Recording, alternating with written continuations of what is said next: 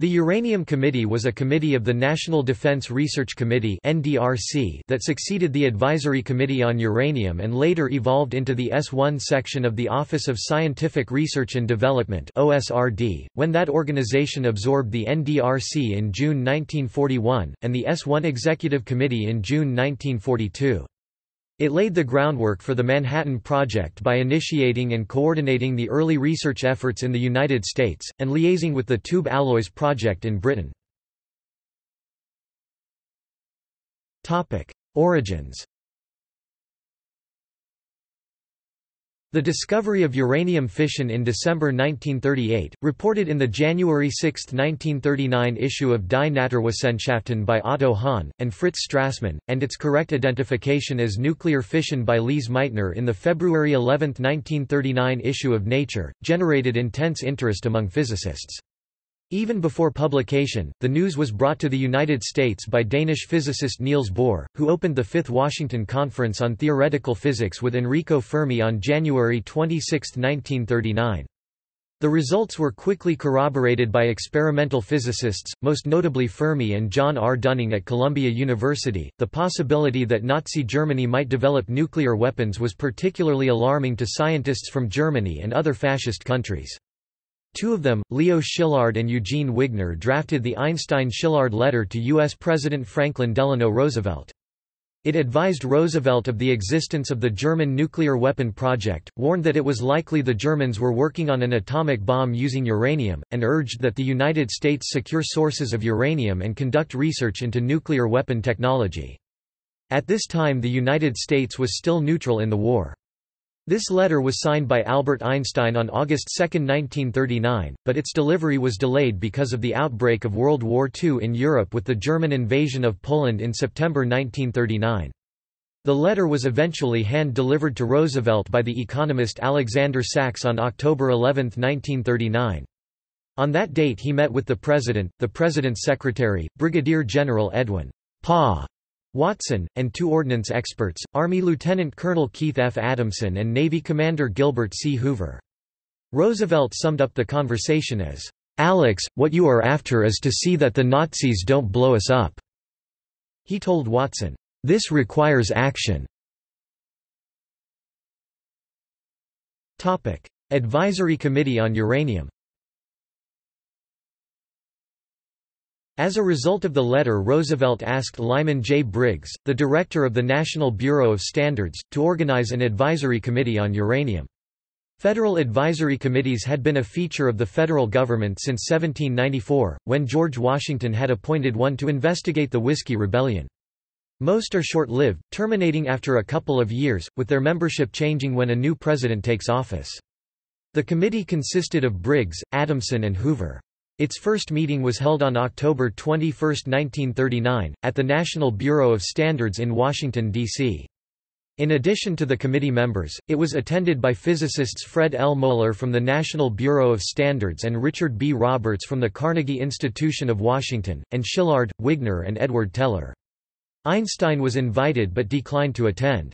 Adamson was skeptical about the prospect of building an atomic bomb, but was willing to authorize $6,000 equivalent to $105,000 in 2017 current dollars for the purchase of uranium and graphite for Szilard and Fermi's experiments into producing a nuclear chain reaction at Columbia University. The Advisory Committee on Uranium reported to the President on November 1, 1939. While acknowledging that the science was unproven and that nuclear chain reaction was no more than a theoretical possibility, it foresaw that nuclear energy might be used as propulsion for submarines, and that an atomic bomb would provide a possible source of bombs with a destructiveness vastly greater than anything now known. The committee recommended that the government purchase 50 short tons 45 t of uranium oxide and 4 short tons 3.6 t of graphite for chain reaction experiments.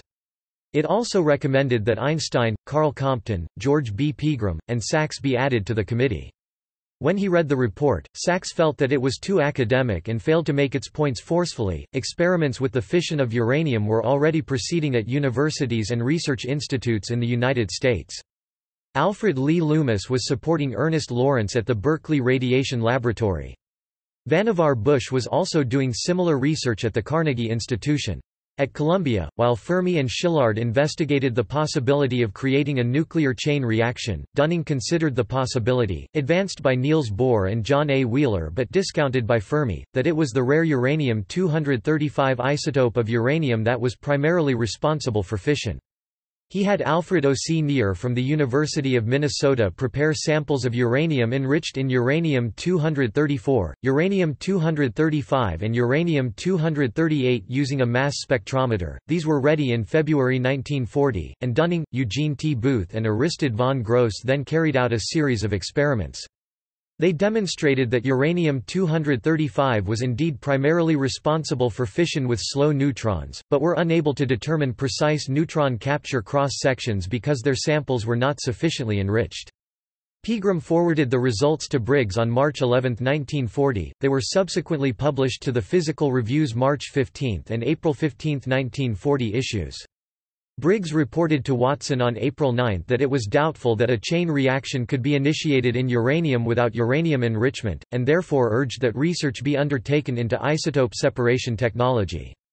Nier, Booth, Dunning and von Gross's results were discussed by Jesse Beams, Ross Gunn, Fermi, Nier, Merle Tuve and Harold Urey at the spring meeting of the American Physical Society in Washington, D.C., in the last week of April 1940. The New York Times reported that conferees argued, "...the probability of some scientist blowing up a sizable portion of the Earth with a tiny bit of uranium." The Advisory Committee on Uranium met again at the National Bureau of Standards on April 27, 1940.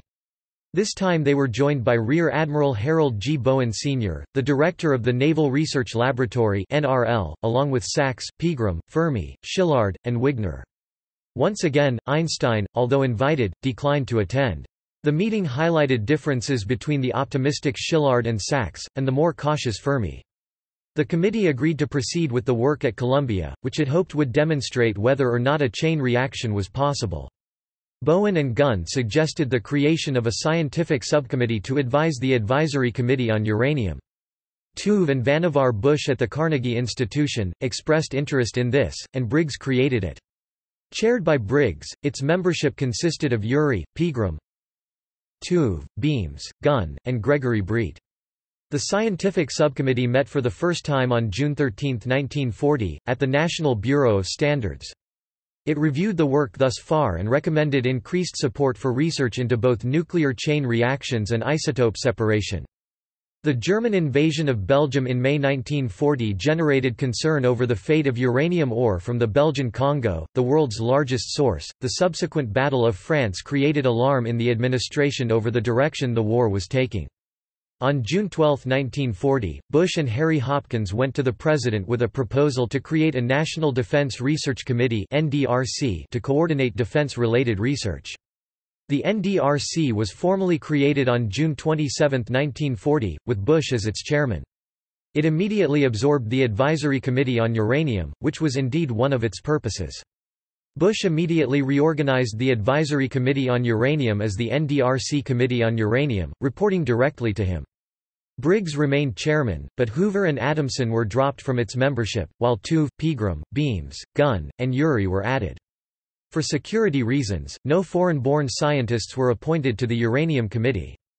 Publication of research into uranium, fission and isotope separation was now banned. MAUD Committee Meanwhile, Otto Frisch and Rudolf Peierls, two researchers at the University of Birmingham in England, who ironically had been assigned to investigate nuclear weapons by Mark Oliphant because, as enemy aliens in Britain, they were ineligible to participate in secret war work, issued the Frisch-Peierls Memorandum in March 1940.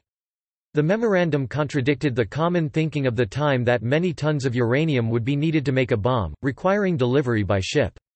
The calculation in the memorandum showed that a bomb might be possible using as little as 1 to 10 kilograms (2.2 to 22.0 pounds) of pure uranium-235, which would be quite practical for aircraft to carry. Oliphant took the memorandum on to Henry Tizard, and the MAUD committee was established to investigate further. It concluded that an atomic bomb was not only technically feasible, but could be produced in as little as two years. The committee unanimously recommended pursuing the development of an atomic bomb as a matter of urgency, although it recognized that the resources required might be beyond those available to Britain. The MAUD Committee completed the MAUD report on July 15, 1941, and disbanded.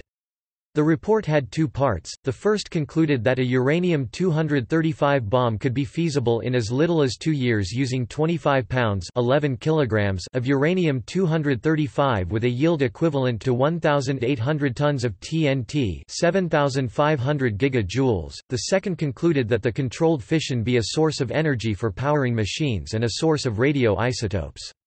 As a result of the MAUD Committee report, the British started an atomic bomb program under the codename Tube Alloys. Urey began considering isotope separation methods. The centrifuge process was regarded as the most promising.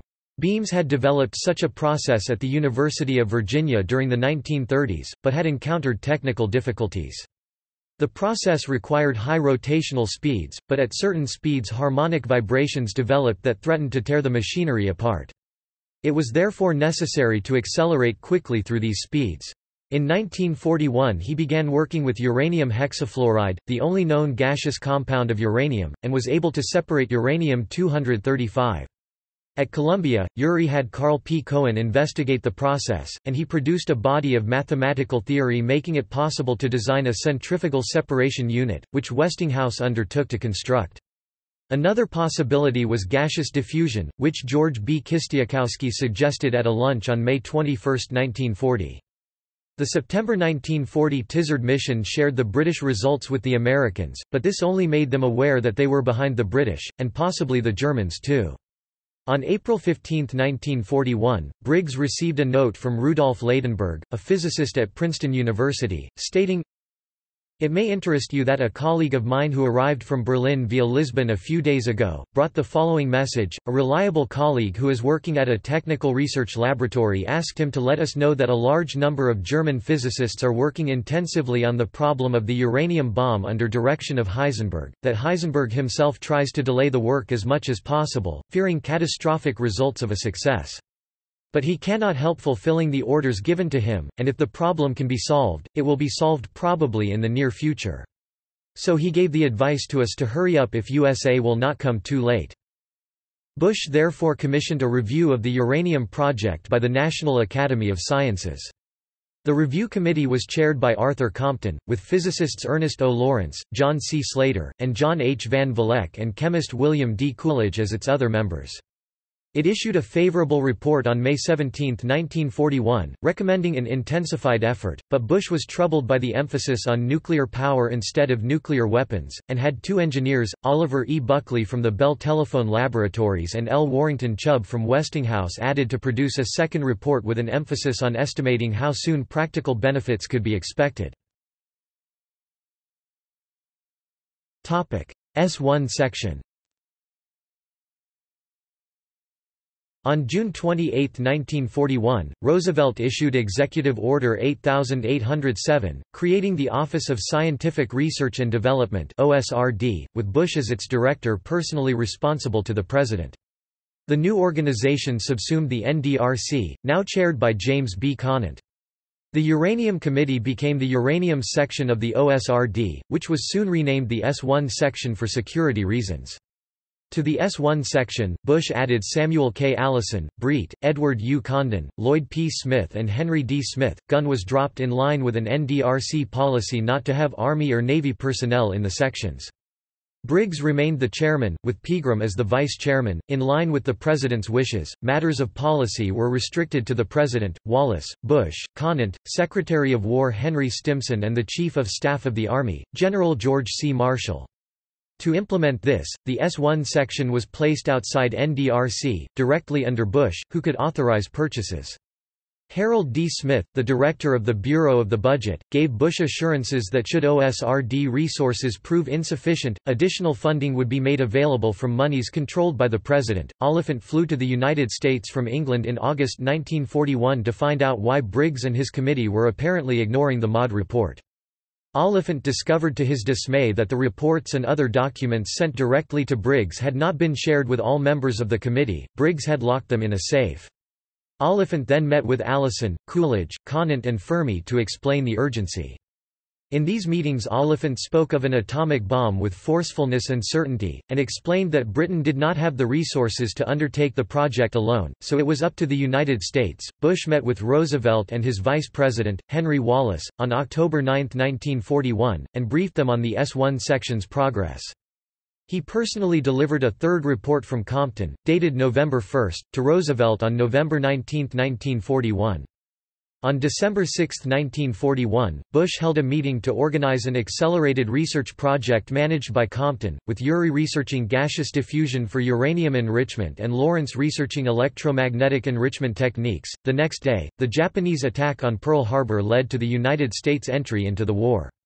With the United States at war, funding was now available in amounts undreamt of the year before.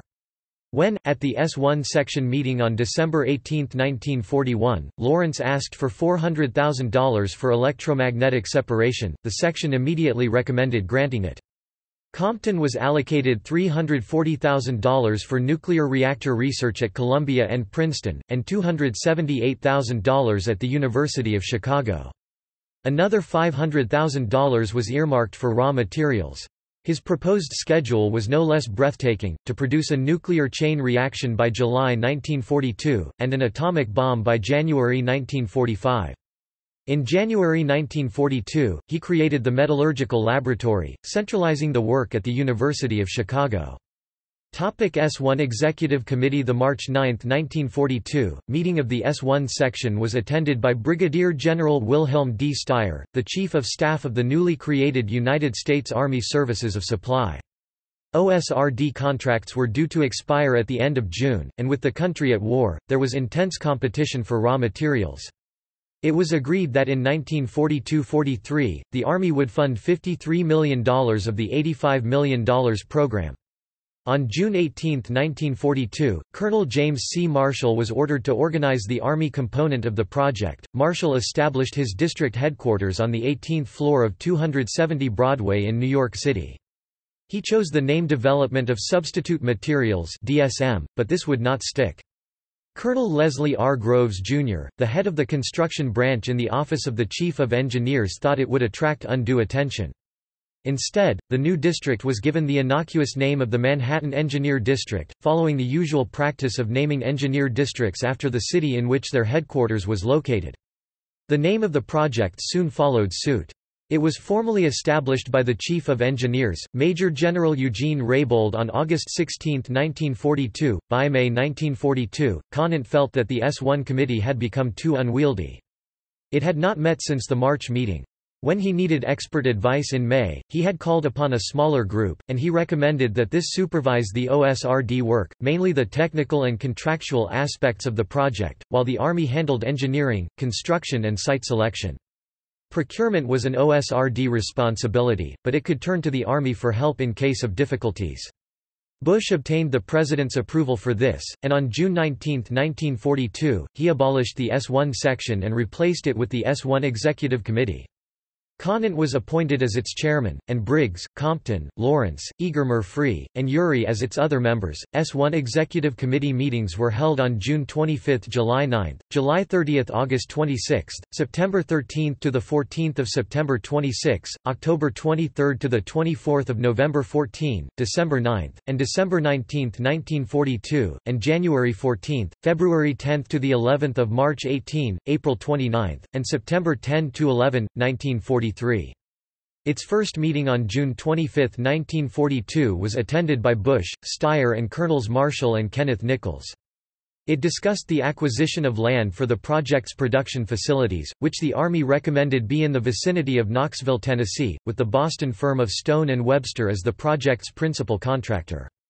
The meeting on July 30, 1942, was devoted to reviewing progress on isotope separation by the centrifugal and gaseous diffusion methods. The August 26, 1942, meeting considered Lawrence's electromagnetic separation project, an expansion of the program to produce heavy water. The September 1942 meeting was held at Bohemian Grove. Nichols and Major Thomas T. Crenshaw, Jr., attended, along with physicist Robert Oppenheimer. This meeting resolved most of the outstanding issues confronting the project, but Bush and Conant felt that the time had now come for the Army to take over the project, something that had already been approved by the President on June 17, 1942. After some discussion, it was decided that Groves, who would be promoted to the rank of brigadier general, would become the director of the Manhattan Project on September 23, 1942. He would be answerable to the Military Policy Committee (MPC), which would consist of Styer, Bush with Conant as his alternate, and Rear Admiral William R. Purnell. The Army took full control over the OSRD's research and development contracts as they lapsed. Production contracts were terminated and transferred to the Army, mostly on March 31, 1943. While the S-1 Executive Committee remained as an advisory body, it became inactive, although not formally dissolved. Bush and Conant continued to influence the Manhattan Project through participation in the MPC. Topic notes topic References Conant, Janet 2002. Tuxedo Park, A Wall Street Tycoon and the Secret Palace of Science That Changed the Course of World War II. New York, Simon & Schuster. ISBN 0-684-87287-0. OCLC 48966735. Gowing, Margaret 1964. Britain and Atomic Energy, 1939–1945. London, Macmillan. OCLC 670156897. Hewlett, Richard G., Anderson, Oscar E. 1962. The New World, 1939–1946 PDF. University Park, Pennsylvania State University Press. ISBN 0-520-07186-7. OCLC 637004643. Retrieved 26 March 2013. Jones, Vincent 1985. Manhattan, The Army and the Atomic Bomb PDF. Washington, D.C., United States Army Center of Military History. OCLC 10913875. Retrieved November 19, 2016. Nichols, Kenneth D. 1987. The Road to Trinity, A Personal Account of How America's Nuclear Policies Were Made. New York, William Morrow and Company. ISBN 0-688-06910-X. OCLC 15223648. Rhodes, Richard 1986. The Making of the Atomic Bomb. New York, Simon & Schuster. ISBN 0-671-44133-7. OCLC 13793436. Schrader, Charles R. 2006. History of Operations Research in the United States Army, Volume 1, 1942–62. Washington, D.C., U.S. Army. ISBN 978-0-16-072961-4. OCLC 73821793. Smyth, Henry DeWolf 1945. Atomic Energy for Military Purposes, the official report on the development of the atomic bomb under the auspices of the United States government, 1940–1945. Princeton, New Jersey, Princeton University Press. OCLC 770285. Stewart, Irvin 1948. Organizing Scientific Research for War, The Administrative History of the Office of Scientific Research and Development. Boston, Little, Brown and Company. OCLC 500138898. Retrieved April 1, 2012. Sylves, Richard T. 1987. The Nuclear Oracles, A History of the General Advisory Committee of the Atomic Energy Commission, N19471977. Ames, Iowa, Iowa State University Press. ISBN 978-0-8138-0062-2. OCLC 15630365.